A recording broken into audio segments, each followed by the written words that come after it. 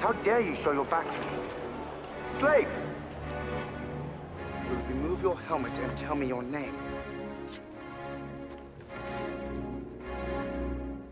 My name is Maximus Decimus Meridius, commander of the armies of the North, loyal servant to the true emperor, Marcus Aurelius, father to a murdered son, husband to a murdered wife,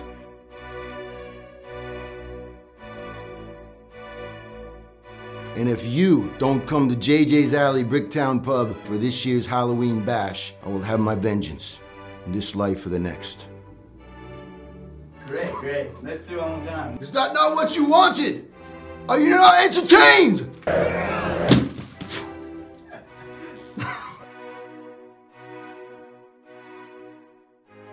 Action.